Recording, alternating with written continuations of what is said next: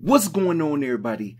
Welcome back to the channel. Today we got a short video on how to get double rewards in the new conquest.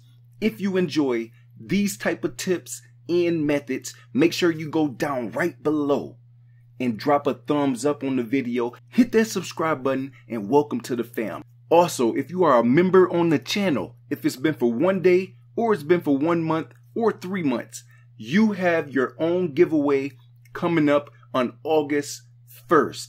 Two $25 gift cards. And every month, if you are a regular subscriber, we have a giveaway every 30 days. Let's get into the breakdown. If you want to complete every collection super, super fast, head over to my sponsor and use code PHAT for 5% off your order. Super fast and reliable. All right, so as you can see right now, the All Stars and Palm Trees, I already have it fully completed. Got all the rewards. You're gonna get your show packs, you're gonna get your Ballin' is a Habit, you're gonna get your Headliner pack, and you're gonna get your Big Dog pack. Yeah, baby!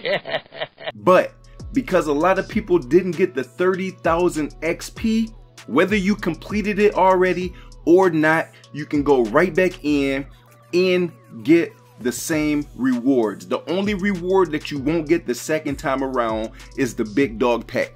So if we go into the All Stars and Palm Trees, you don't have to play any strongholds. I repeat, you do not have to play any strongholds. You're gonna start about this area. All you have to do the second time around, make sure at the bottom right it says 30 million my fans when you start. Okay, if you already have it completed, you already got your 30,000 XP. Come in a second time, you're gonna go straight up over here and you're gonna get a pack in this area it's in different areas but over here somewhere or right here you're gonna get a pack okay then come straight down straight down here around this area either over here here or down in these areas there's gonna be two packs around here okay then you're gonna make your way around all these strongholds you're gonna be unlocking packs around the braves you're gonna do the same thing with this team. Come around here, you're going to be unlocking packs. Around each one of the strongholds is going to be more packs. Okay, you're going to do the same thing.